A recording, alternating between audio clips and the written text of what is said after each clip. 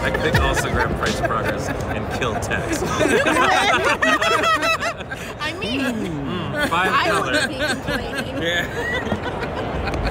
so this is my new uh, Zndrsplt No Kun Chaos coin flip deck. It's all oops, all coin flip cards basically, even the bad ones. Um, and I'm actually tutoring. We're using Gamble right now for Chance Encounter, which, if you're not familiar, is an alternate win con card. Which is whenever you win a coin flip, put a luck counter on Chance count, uh, Chance Encounter at the beginning of your upkeep. If Chance Encounter has 10 or more luck counters on it, you win the game.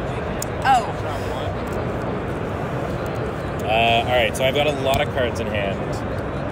You need like a pop-o-matic bubble. I do. Yes, Yeah. that would be All great. I have are these pennies. Like I didn't bring a coin for the deck, so I've got these pennies, which were actually, I guess, a little bit sentimental value. Uh, MC Frontalot handed them to me and went, "These are worth an entire half dollar," and like handed it to me, and I almost gave him one of our half dollars.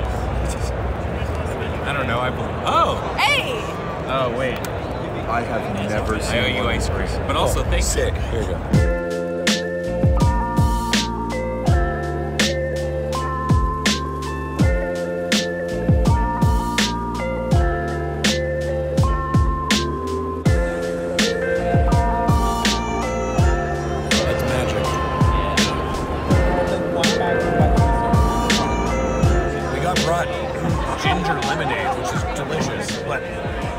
It's a little impractical. Ben, could you?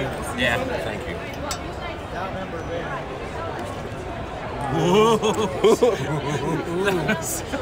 Got a little too excited there. I mean, it gets easier the more we use.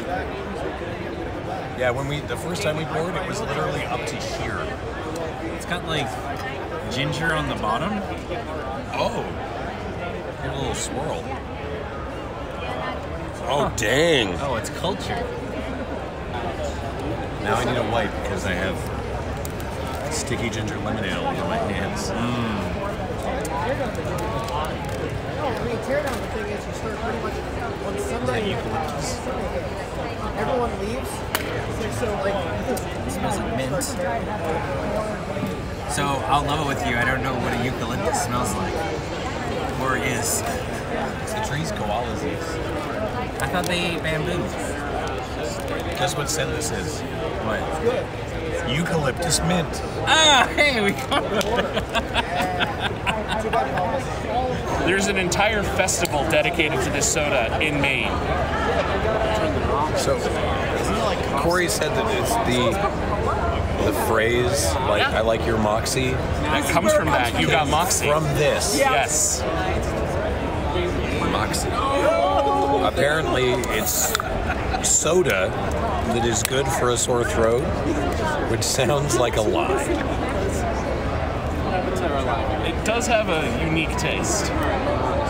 It does have a unique taste. What is that? Gentian root. Gen gentian root? Gentian. I've never heard of that. It's a unique New England experience. Nowhere else does this. And we had to serve it from the aluminum can like God intended. It's good, honestly. It's manufactured by Coca-Cola now. Yeah, they bought it out. Does your throat feel better? It it does a bit. Yeah, it feels a little bit better. There you go. I'll have to rewatch this footage and see if my voice sounds different in the beginning and the end. There's gonna, it's gonna be you later tonight, just being like, like with no throat, be like, they lied, they lied. I, I can accept that. I should do like that TikTok cam likes where I just drain the whole can and then belch myself to death. Thank you.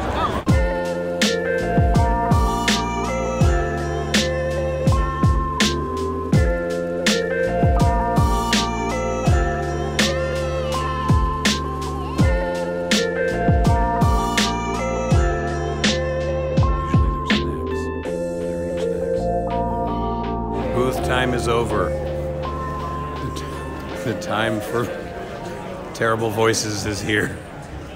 Uh, Sarah and Joe and I are going to get some manner of food before I apparently have to do an improv panel. I can't wait to see how this goes. Oh, it's really cold out here, and most of the food trucks have closed. but there's a couple, and there's one that has tiny empanadas. So that's what I've got. That's what Joe got. Sarah's waiting to get a banh mi from a different truck. They call this the lawn on D because it's on D Street. D D. It's on D Street, and it's AstroTurf. This whole thing is a lie. Cold as shit. It's so cold. I don't like it. The food trucks are leaving. It's so cold.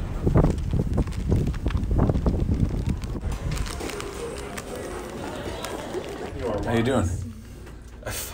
I don't want. Oh no, what happened? So, I, as you can see, I have about this much coffee in my, my coffee cup. Uh huh.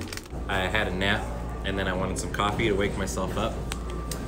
And uh, I, I started the coffee machine. I put the water in, put the put the stuff in, and then uh, pressed the button, and walked away from it. Uh, I forgot a key ingredient Oh, to no. it, which was the cup. Oh Uh, no. and the coffee machine is resting in a tray. So there was a tray full of hot coffee. I took some of the coffee from the tray and poured it in my cup. Uh, the rest of it was not so fortunate and got spilled on the carpet a little bit. But I have some coffee now. Wow. I wanted to take a picture of my deck from the uh, mystery booster draft today, but there was nowhere, there's no surface in the hotel room to lay out the deck. Um, but luckily, uh, we have an ironing board.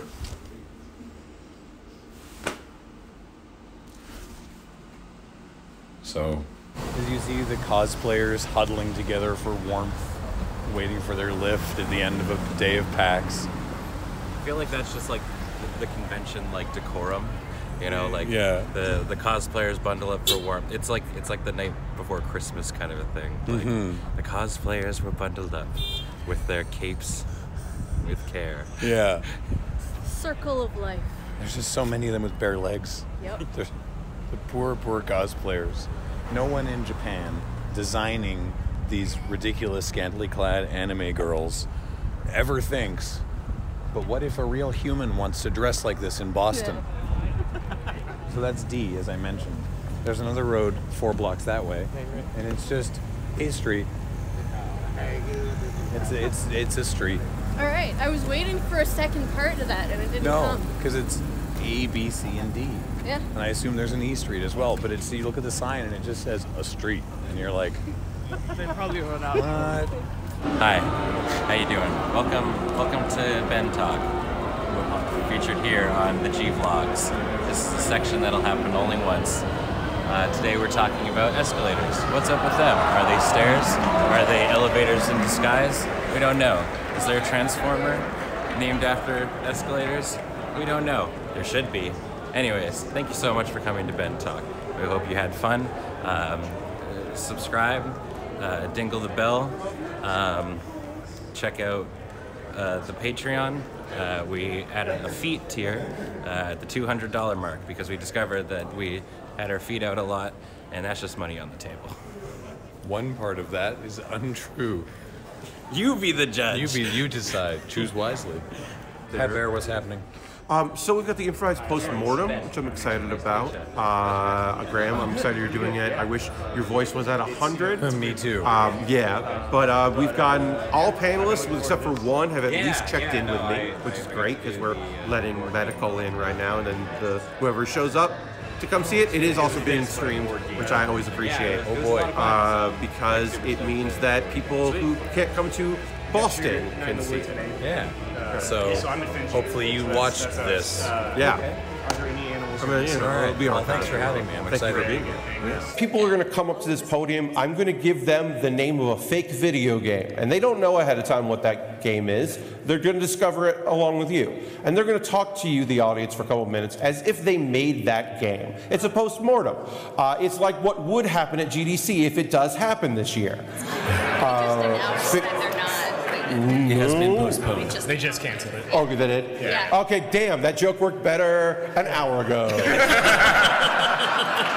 And that's thing number It's, it's like what would have happened at GDC if it was going to happen. There, that- there's the replacement joke. I'll edit that later. Uh, like all the character models were they looked amazing and photorealistic if you were trying to photorealistically recreate some sort of g- glistening sex alien. Like, Which maybe is a thing, and if we'd been marketing the game differently, uh, you know, would have worked out. But we were just trying to make a wrestling game, and these just these fucking Cronenberg beasts with breasts for ears. Just. I don't know who was supposed to be monitoring the art department, but obviously they failed. and and I cannot understate how astonishing like the perfection that was put into making things that should not be seen. We did a panel. Yeah, that was a super fun panel. Yeah. Now I don't, I'm not obligated to talk for the rest of the week. Yeah. I, I could translate for you. Perfect.